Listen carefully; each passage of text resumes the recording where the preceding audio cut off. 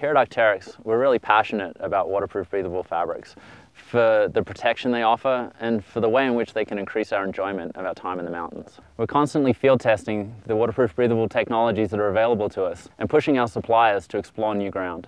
New from Gore for Fall 13 will be our next generation of Gore-Tex Pro fabrics. We've worked closely with Arc'teryx, uh, mostly due to the, uh, the unique expertise that Arc'teryx has, who uh, really understand how PTFE works and how it works specifically for the, the end uses of mountaineering and ski mountaineering.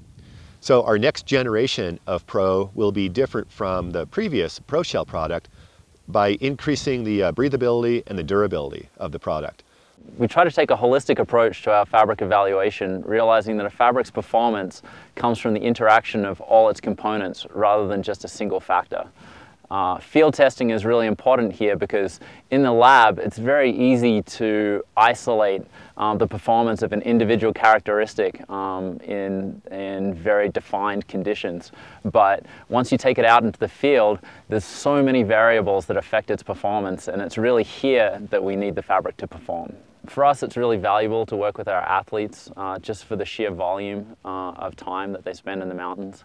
Uh, we can give a jacket to somebody like Greg Hill and he can put 25 days uh, on that jacket in a month and uh, that's really valuable testing for us. So for the user, we see the new Gore-Tex ProShell uh, offering a much broader comfort range.